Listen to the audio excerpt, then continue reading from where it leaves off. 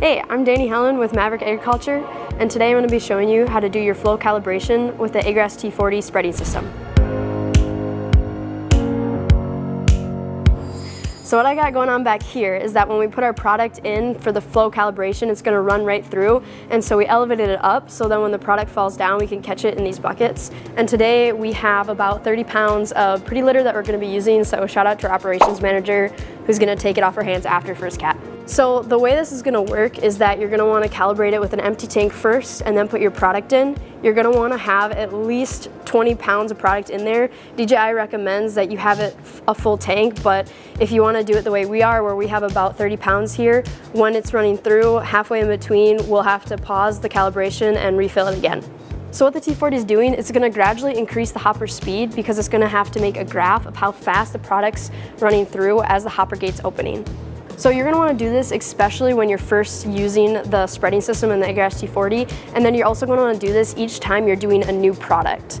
So then it'll save as a template on the remote controller, so you don't have to do it every time you're about to start your mission, but you're gonna have to do it for each new product so it knows that you're getting the best rate possible for your application.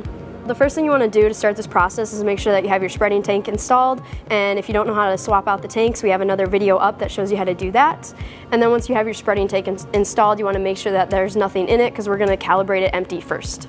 Okay, so we're gonna be in manual mode for this task, and to just make sure you're in that mode, you just click the top right button in the corner and then select manual mode. You should be able to do this in route mode as well, but we're gonna stay in manual. And then what you want to do is go over into your settings and then down to your spreading system settings. And then you're going to want to do the tare calibration for your weight to equal to zero. So you'll hit that and you'll press continue and start calibration. Once it's completed, you'll hit OK, and then now that our weight is zero, we're gonna add our product.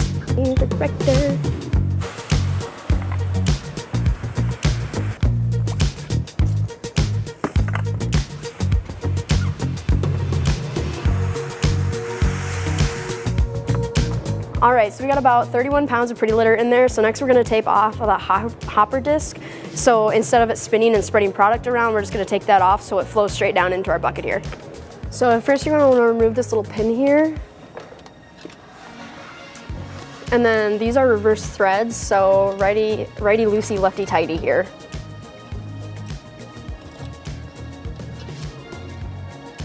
If this is your first time removing this, you'll most likely need a pliers since there is a little locking system on there. But after that, it's pretty easy to get off. And then once that's off, there's a washer that will come out here. And then we pull this off. All right, so now we're actually gonna run the flow calibration and we switched out our bucket here because we found a little bit larger one to use so we don't need to have less spillage. Uh, so so now that you're in the screen, you're gonna go to your settings and then back into your spreading system settings. And then we're gonna go into materials management and create a new material that way. So there might be some preset ones on already on your controller. You can delete them, save them, whatever you wanna do. But for your material, you're gonna wanna create a new one. So we're gonna add new material and then we're gonna choose the first hopper outlet since that's the one we have installed here. And then we're gonna press start calibration.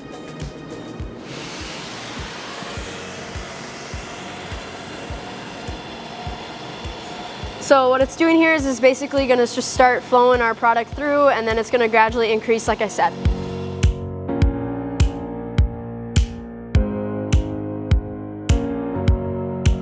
So we were able to get through the whole process with just our 47 pounds of kitty litter.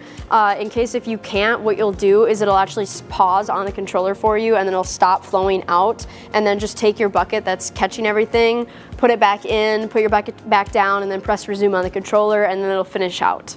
And then once you're done, what you'll do is it'll have you name what you're doing. So I just put pretty litter since that's what we're running through. And then you press complete and then it's saved on your materials management. And then from there you can go to creating your task in the field. All right, so now that you completed your flow calibration, it's gonna be saved on your controller and to actually integrate it into your task, what you wanna do is go into your route mode and then from there select the field that you wanna be using and then press use. And then for the material, you'll click your pretty litter for us or for whatever you named it. And then you can adjust your application rates, spinner disc speed, flight speed, all of that. A quick note to know is that somewhere between 800 to 1100 is a good is uh, an average spinner disc speed. And just to know that the faster you have it, the wider your spread will be. All right, so that was the process on how to do the flow calibration on the Agras T40. Make sure to like and subscribe and follow all social medias.